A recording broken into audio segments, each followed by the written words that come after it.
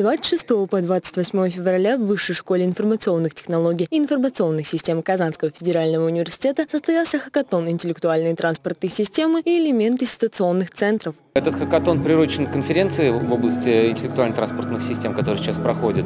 И э, проекты э, частично пришли от этой конференции, частично они пришли из нашего и других вузов. Э, мы на самом деле приглашаем к участию, приглашали к участию всех желающих.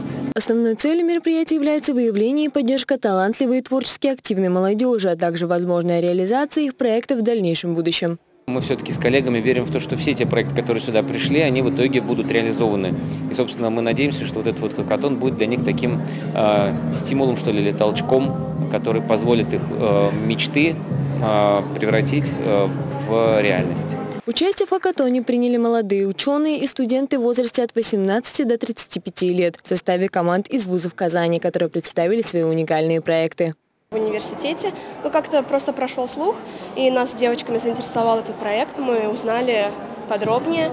У нас возникла идея создания умных остановок именно в городе Казани. И в преддверии чемпионата мира мы решили попробовать воплотить свою идею и написать небольшую программу, которая бы помогала в реализации проекта. Стоит отметить, что организатором выступает Государственное бюджетное учреждение «Безопасность дорожного движения», научные центры безопасности жизнедеятельности и управление ГИБДД МВД по Республике Татарстан. Диана Шилова, Ленар Давлетьяров, Владимир Нелюбин, Univer News.